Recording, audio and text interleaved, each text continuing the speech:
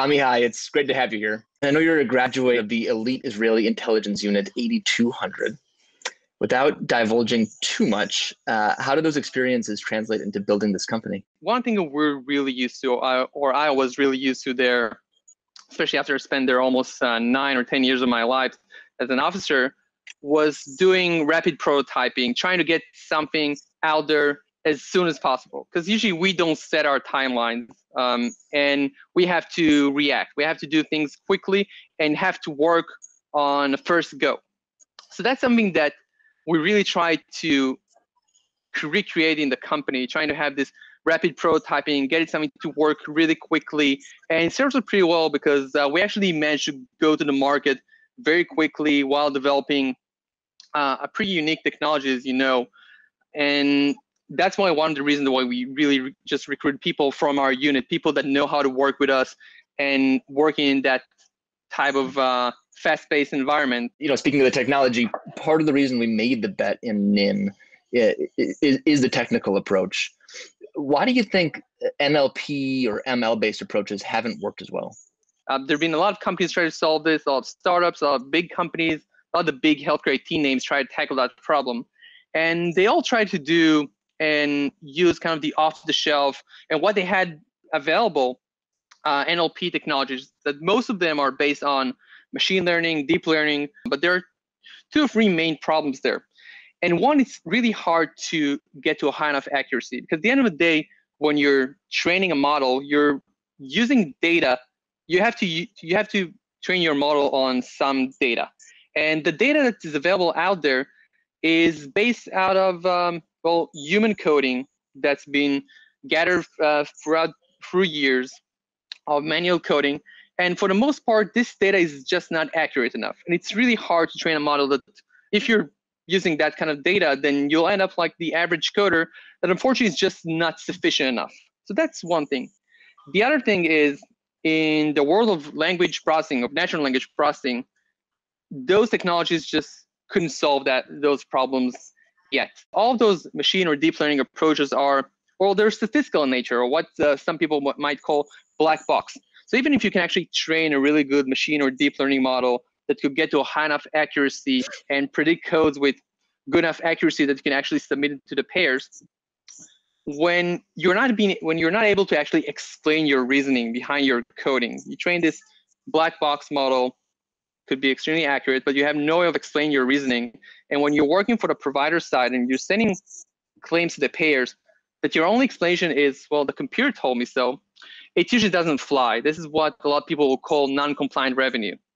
And that's why we took a very different approach when starting the company. Um, Adam, my co-founder and our CTO, uh, he's a computational linguist by training.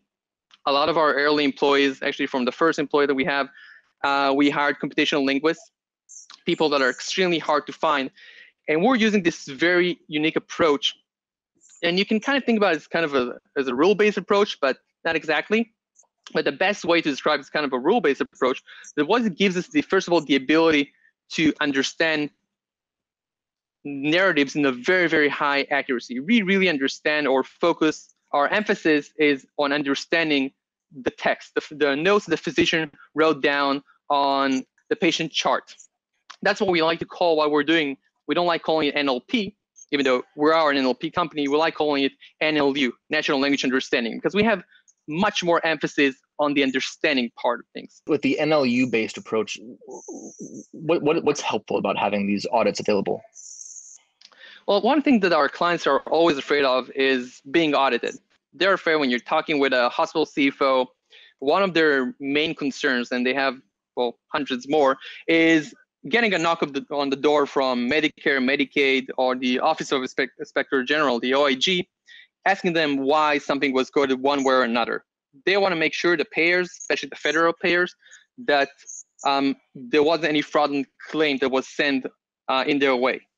And having those audit trails, those explanations that can really show what was the thought process, why a certain decision was made in the coding process, give them this kind of uh, insurance or give them the confidence to know that it can trust uh, Nym's coding and our engine and can fully divert their coding operations uh, to be fully automated using us. I, I do wonder is there a way that you think that this technology could be used to actually change the way that providers are are coding things or writing their notes um, it does a lot of things that we we often see that some providers don't really know or don't remember because there are there are and being married to one, I know this. There are a dozen things you have to remember when treating a patient, and there are different guidelines that you have to follow. There are the clinical guidelines. There's the payers guidelines. That's something you have to follow, and those guidelines are there. Those protocols to give the best service or the best treatment to the patient. And if you're following them by the letter, you're also getting reimbursed uh, accordingly. And sometimes a lot, of, a lot of physicians, a lot of providers don't remember all those uh, different guidelines. That Medicare came up with a new guideline that if you follow that guideline, well, you can make almost uh, double the money and you'll give better treatment to the patient. A lot of them don't know about this, didn't know that the protocol was changed since the last time somebody told them about it, and they're losing a lot of money because of this. And we actually found that providers are using our audit trails to self-educate themselves to improve their own documentation. And it's not actually, we're only seeing it as improving their, in their own documentation. In reality, they're actually giving the patient a better treatment because now they're following the entire, all the guidelines, providing more, for example, review systems. They are reviewing more systems when they're seeing a complex patient. Yeah, yeah, that makes sense. As a provider, I do remember there are uh, the dreaded phone calls you get from coders who are telling you that you did something wrong in a long string of people telling you you're doing things wrong throughout the day and then you have to log into Epic and figure out, you know, which note from nine weeks ago had the missing one point review of systems. It's the idea of automating that process of giving feedback something that could be really helpful to providers. Exactly. And here, instead of waiting for for about nine weeks until coders actually get to this chart in their queue, with us it takes about two and a half seconds on average. This is what we're averaging uh, across our clients. So we can send that feedback to our providers, to a provider in basically in real time. Yeah, that's awesome. That could be so helpful. Uh, reduce a lot of the pain throughout the day of, of, of being a provider.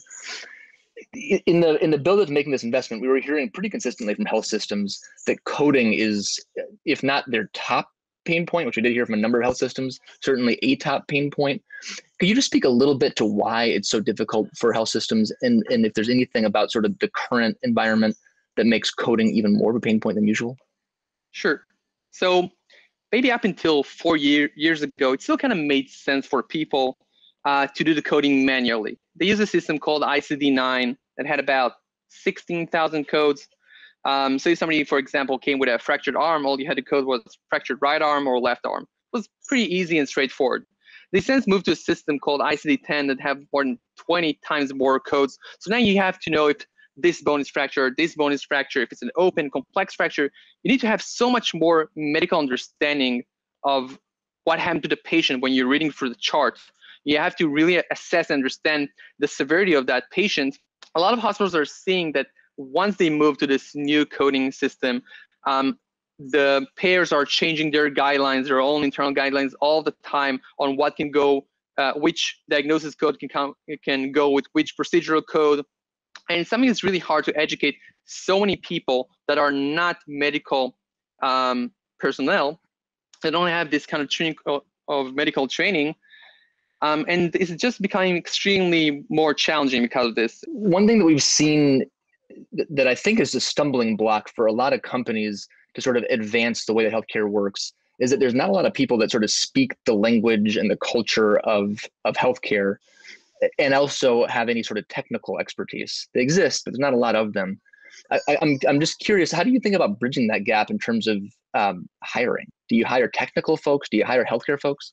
Um, yes, that's actually a really good. That's something that we made a very early on decision that um, we're not going to hire coders. We want somebody because we're trying to do natural language understanding, or even more specifically, we call it CLU, clinical language understanding we want to understand the chart and the text just like a physician, like somebody who, who who's supposed to read that chart with a medical understanding will read, and that person will be a physician.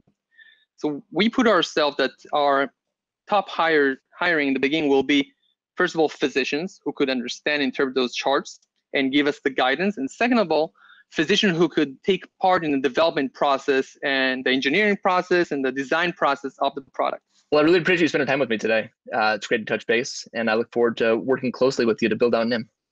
Me too.